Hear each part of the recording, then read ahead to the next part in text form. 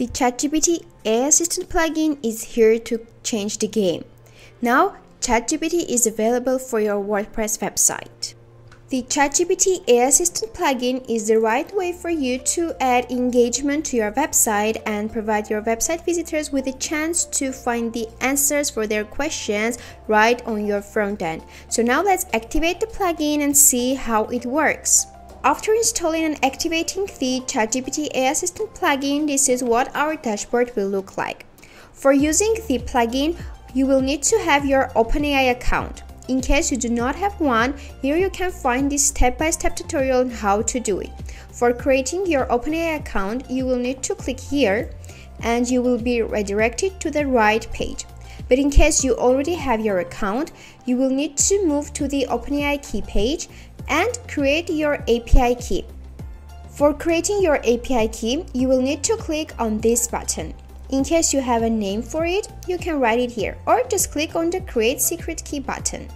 Now our secret key is already generated. All we need to do is to copy the given API key and paste it here. After that, we'll need to click on the connect button so that the plugin will be activated.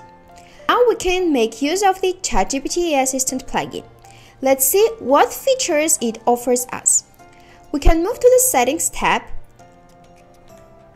In the general settings, we can see that there are various features available for use. For example, the chatbot shortcode. By copying this shortcode, we will be able to pass it into any post or page and our chatbot will be visible. The general settings is responsible for the position of our chatbot. For example, it can be on the left side, in the center, or on the right side.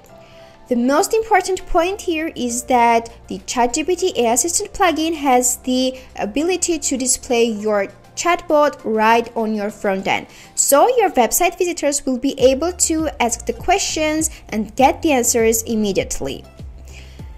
This option is activated by default. And now let's go and see how it actually works. So now as you can see, I'm on my front end and by clicking on the ChatGPT Assistant plugins icon, the chatbot will be activated. So here I will be able to ask any questions and get the answers immediately. So now let's test it.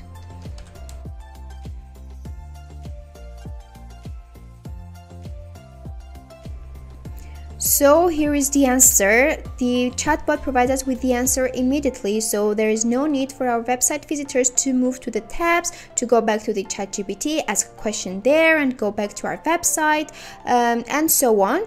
Uh, everything can be done within our website. So the ChatGPT Assistant plugin is a great way for uh, engaging our website visitors and for reducing the bounce rate and providing them with the ability to uh, get the needed information in seconds. So we can say that the plugin is useful for both in the front end or in the back end. Now let's go back to the settings tab and see what other options the plugin can provide us. Here we can see that we have this test tab which is responsible for the uh, style of the chatbot.